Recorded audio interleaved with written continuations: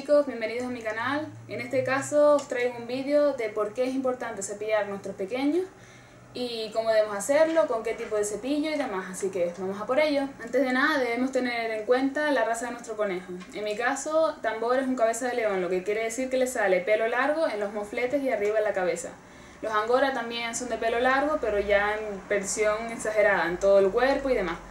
Los Rex no suelen dar mucho problema porque como lo tienen corto, pues no necesitan tanta continuidad para, el cepillado.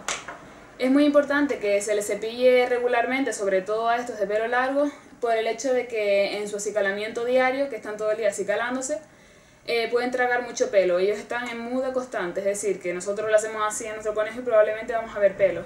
Si esto no lo hiciéramos, lo de cepillarlo diariamente, sobre todo a las razas de pelo largo, lo que puede pasar es en su acicalamiento normal, eh, como se lamen y demás, traguen pelo, ese pelo se les estanca en el estómago, les puede producir problemas digestivos y le puede dar un cólico y se te puede morir. entonces es por ello por lo que es fundamental el cepillado, sobre todo, como ya digo, en las razas de pelo largo.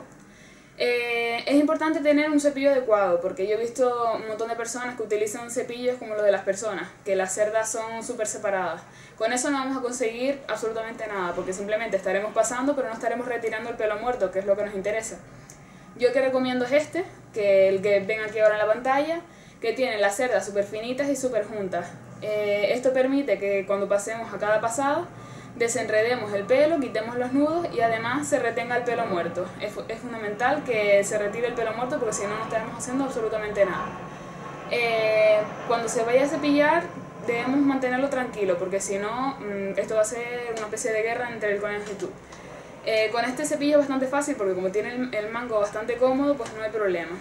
Para colocar el conejo lo colocamos de tal manera que lo tengamos sujeto por la parte de adelante, por si intenta salir corriendo que, que no se nos escape. Y vamos pasando sobre todo en la parte del lomo, que es donde más suelen echar, y sobre todo también en la parte de la barriga. Y vamos pasando repetidas veces.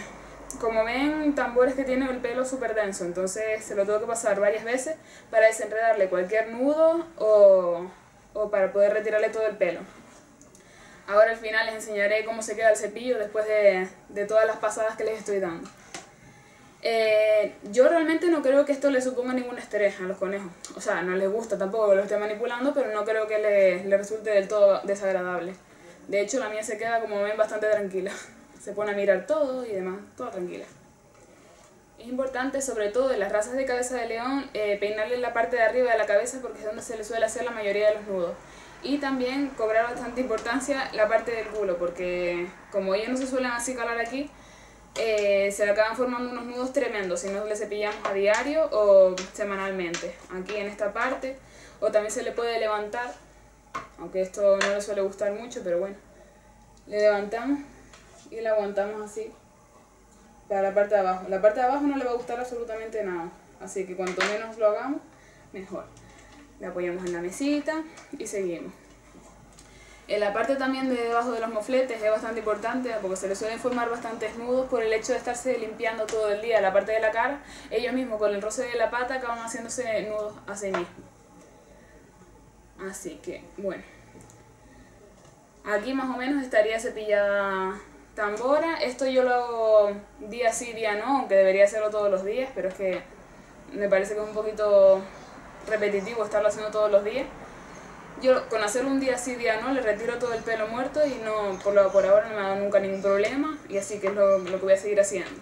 Ahora voy a enseñar cómo quedó el cepillo después de cepillarle todo el cuerpo a tambor. Como podemos ver, aquí tambor ha echado como 20 mil millones de pelos, sin exagerar, claro. Y así es como más o menos día a día podemos irle retirando todo ese pelo muerto que se le va cayendo para que no se lo trague y pueda resultar peligroso. Nada chicos, esto ha sido todo por hoy, espero que os haya gustado, darle a like, suscribiros y todo eso. Un besito.